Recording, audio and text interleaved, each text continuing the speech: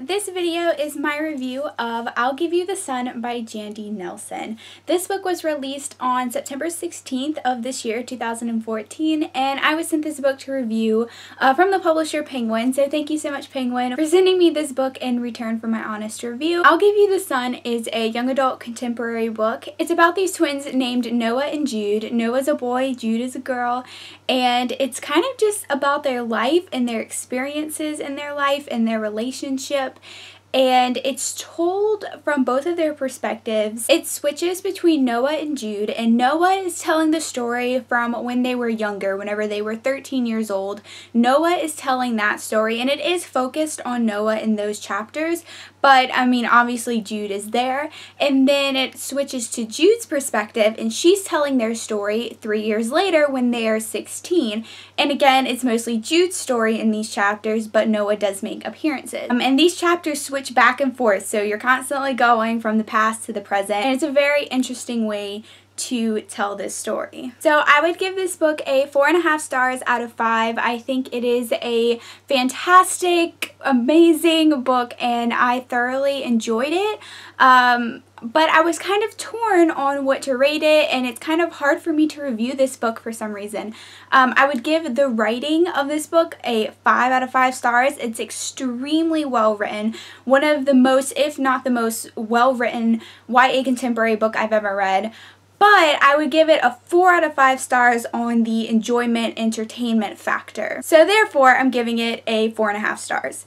Like I said, the writing is just brilliant. The way that Jandy Nelson weaves these two timelines together and the way she explores the relationship between Noah and Jude and just all the other characters that are involved is truly astounding. I was very impressed by this book, very impressed by the writing.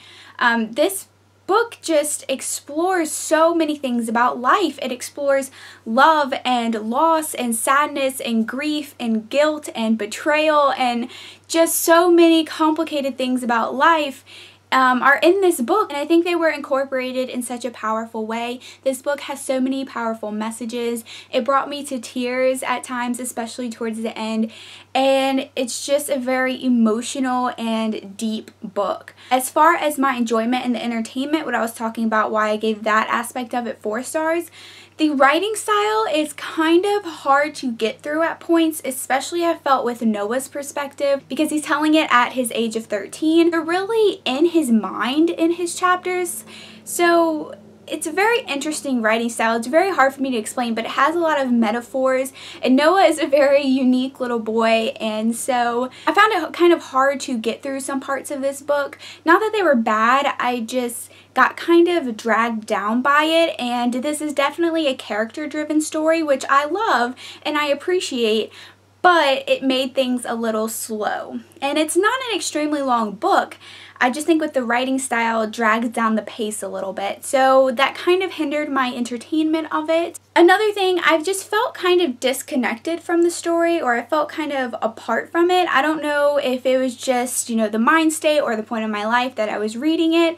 While reading it, I knew that it was just a fantastic book, but for some reason I wasn't super emotionally connected to it or the characters and I think I just I'm very different from them, so maybe I just really couldn't connect with what they were going through. And so I guess that's why I felt kind of disconnected from the story and I couldn't fully embrace it.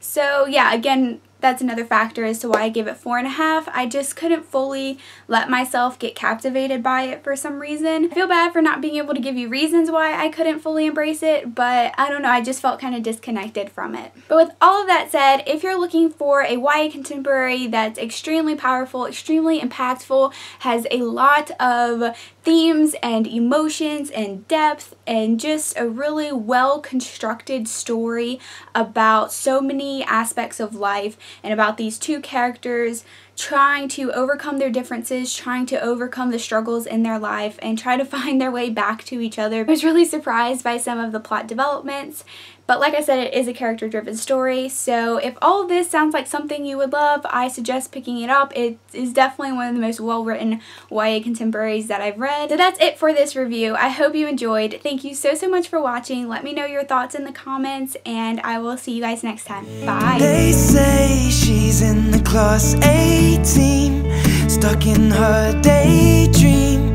Been this way since 18, but lately